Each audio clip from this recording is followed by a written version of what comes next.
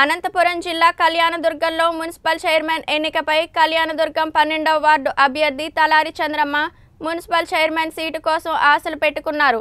కానీ పదో వార్డు రాజకుమార్కు చైర్మన్ సీటు కేటాయించడంతో చంద్రమ్మ ఇంటి వద్ద ఉద్రిక్త వాతావరణం నెలకొంది. సీటు కేటాయిస్తానని చెప్పి తమను ఎమ్మెల్యే ఉషశ్రీ చరణ్ మోసం చేసిందని చంద్రమ్మ భర్త తిరుమల వెంకటేశ్వర్లు వాపోయారు. వారి ఇంటి వద్ద నుండి వాల్మీకి సర్కిల్ వరకు ర్యాలీగా వెళ్ళి ఎమ్మెల్యే డౌన్ డౌన్ అంటూ నినాదాలు చేస్తూ నిరసన తెలియజేశారు. అనంతరం తిరుమల వెంకటేష్ మాట్లాడుతూ గత పదకొండు సంవత్సరాలుగా పార్టీకి పనిచేశానని ఎమ్మెల్యే ఎన్నికల్లో కూడా మండల కన్వీనర్గా ఉంటూ ఎమ్మెల్యే ఉషశ్రీ చరణ్ గెలిపించుకుని వచ్చానని అయినా కూడా తమ మీద విశ్వాసం లేదని కేవలం ఎంపీ రాంగయ్యని కలుస్తూ ఉండడం వల్లే తమకు ఇలా మోసం చేశామని ఈ విషయాన్ని ఊరికే వదలమని అధిష్టానం వరకు తీసుకెళ్తామని చెప్పారు.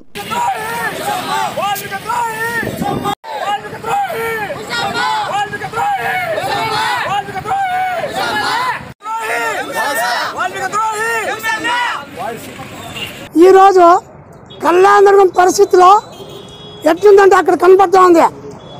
ప్రభుత్వం వచ్చి రెండు సంవత్సరాలు ఉంది ఈ ఎమ్మెల్యే గారు ఎక్కడన్నా ఏమన్నా చేసిన దాఖలాలు ఉన్నాయా మున్సిపాలిటీలో అని ఛాలెంజ్ చేస్తున్నా. మీ జోబులో వేసుకున్నదానికే చూస్తున్నా కానీ అభివృద్ధి కార్యక్రమం చేయలే? మేము ఆ విధంగా కాదు. రెండు వేల పదకొండు నుంచి పది రూపాయలను ఖర్చు పెట్టుకొని వచ్చి నేను ఒక పూలారము ఒక ఊదిగడ్డలు ముట్టించి నేను ధర్నా కార్యక్రమాలు అనేక సందర్భాల్లో జైలుకు కూడా పోయినాము. కార్యక్రమాలు కూడా ఇచ్చేసిన కూడా అరెస్ట్ చేసినారు. కానీ నువ్వు చేసిన మోసానికి నువ్వు ఏమైనా అనుభవించక తప్పదు.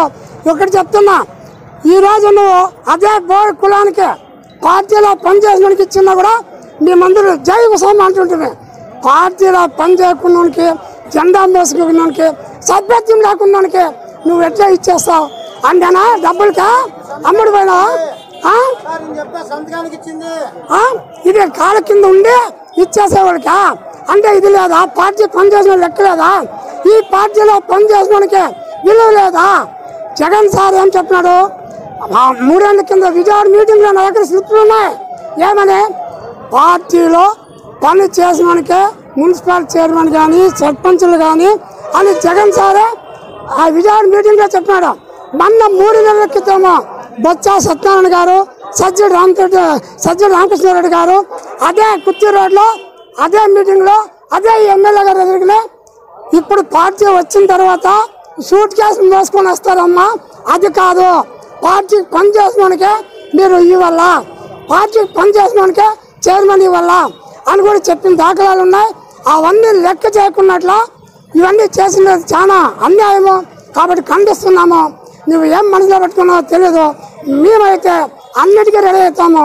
ఏమిటి కూడా ఇది కాదు. ఎస్ అయితే ఇప్పుడు మేము అధిష్టానం దగ్గర నువ్వు సీడ్ కవర్ అన్నావు. సీడ్ కవర్ ఓపెన్ చేస్తుంటే మరి సీడ్ కవర్ అందరూ స్టేట్ అని చెప్పినారు. మరి ఎక్కడ బా సీడ్ కవరు ఎక్కడ బా?